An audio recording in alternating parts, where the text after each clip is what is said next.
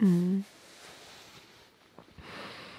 I think intimacy is inherently vulnerable. No.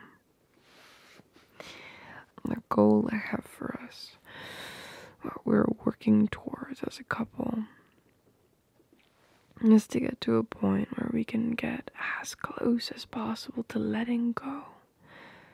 Feeling so accepted that you can just feel the sensations as they come. no pun intended.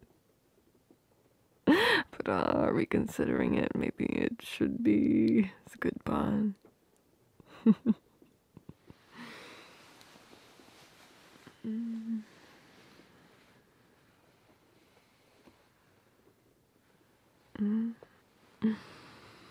Good at what, sweetie? Aftercare. How lewd. What makes me good at it, huh? What do you like about me holding you and calming down? I want to hear you say it.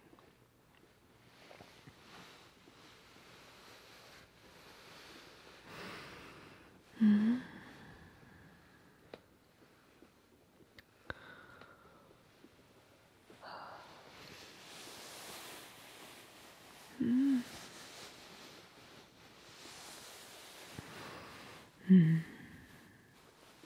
hmm So, how do you feel? Did any negative emotions come up for you while we were together? At all? Any hesitation you felt in your heart? I want to talk about it. No, you couldn't offend me. I don't. I, mm, I wouldn't take it personally. Because I just want to get to know you better, my love. Yes, with each day. What? No. The better I know you, the better I can love you. And that's kind of my sexy promise to you it's just gonna keep getting better. I kind of love doing it to you. Yeah. Yes. Um, seeing you so pleased makes me sleepy. That's why. but I'm here. All of me.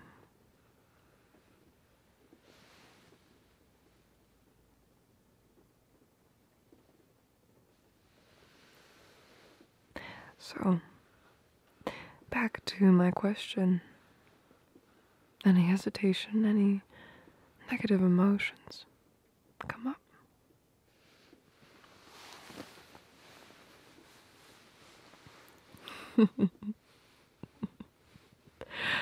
Sorry.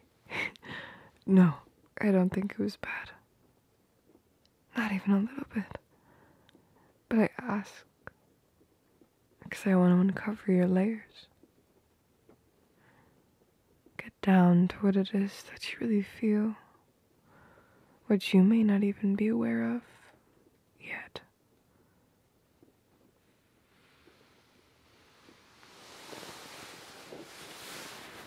Come here. What it means to be a partnership, to be intimate partners is to want the best for one another. Put you before me. I wouldn't be hurt if you told me I did something wrong or not all the way right. I want to know so I can do better next time. And better and better and better. For me too. I kind of want to knock it out of the park 99.9% of the time. If I only can.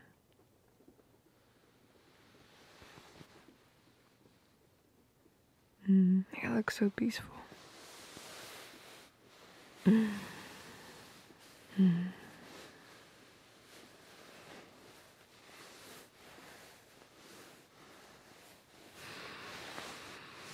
Oh, my love, I love you so much.